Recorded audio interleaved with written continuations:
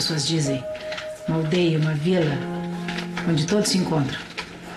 É verdade. Não conhece ainda meu marido? Não, não. É. Será que a senhora podia dar um minutinho em particular? Alex, olhe as nossas compras, por favor. Não se preocupe que ele olhe seu carrinho também. Onde é que nós vamos? Não, nós vamos sair aqui do corredor, estamos atrapalhando o trânsito. Vem.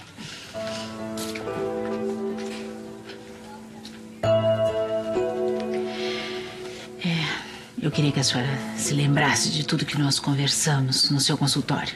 No meu consultório conversamos sobre muitas coisas. A senhora sabe do que eu estou falando, mas eu vou ser bem objetiva.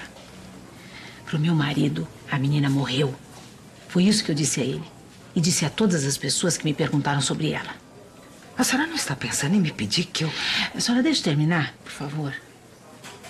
Foi a maneira que eu encontrei de me livrar dessa menina para sempre. Eu sei que a senhora deve estar me olhando assim com esse olhar escandalizado, mas. Foi a maneira que eu encontrei. O que, que eu posso fazer?